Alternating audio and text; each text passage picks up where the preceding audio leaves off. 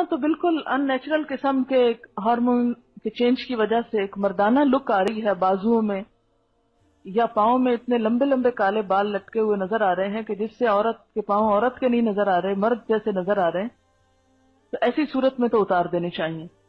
या upper lips पे या चिन ये तमाम चीज़ें ताकि औरत औरत लगे। लेकिन पिंडलियों पे भी आप कराते हैं तो घुटने मत दिखाएँ, घुटना औरत का भी औरत के सामने नहीं खुलना चाहिए। और बाकी हिस्से भी जो सतर में आते हैं वो आप नहीं दिखा सकते। औरत की चिन पे या अपर लिप्स पे बालों का होना, ये मर्दानापन की अलामत है और एक बीमारी है। अगर कोई इस बीमारी को दूर करवाता है, मसलन वो एक परमानेंटली बाल खत्म करवाते हैं, मैंने किसी को करते हुए भी देखा है, जिसमें बालों की जड़ें जला दी जाती हैं, कोई हरज नहीं, क्योंकि ये मर्दानापन है।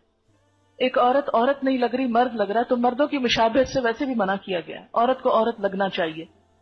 या बाल हैं और औरत इसमें तकलीफ़ महसूस करती है कि उन बालों को उतारे तो अगर वो ब्लीच कर लेती है कि वो चेहरे के रंग के साथ हो जाए तो वो, यानी औरत को औरत लगने में मदद दे रहे अच्छा इसी तरह अगर बाजुओं पे, हाथों पे ऐसे बाल हैं कि जो औरत की लुक को मर्दाना बना रहे जैसे आप सल्लल्लाहु अलैहि वसल्लम ने उस औरत का हाथ देख के कहा था कि पता नहीं औरत का हाथ है ये मर्द का हाथ है।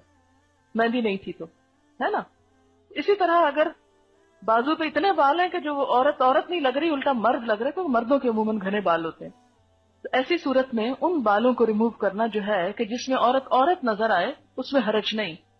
लेकिन कोई भी परमानेंट नक्शो निगाह, जैसे वो भवों की असल शेप को बदल कर कुछ से कुछ या सारी उतार के तो अपनी मर्ज़ी से पेंसिल लगा के एक नई शेप देना तो दुरुस्त नहीं। हाँ भवे मसलन यहाँ से दो जुड़ी हुई हैं। तो अब ये क्या है कि ये एक ओरिजिनल औरत की शक्ल नहीं होती? एक बीमारी आप कह सकते हैं। तो उसमें अगर इनको अलग कर लिया जाए तो वो फितरत पर लाना है। फितरत में तब्दीली नहीं है।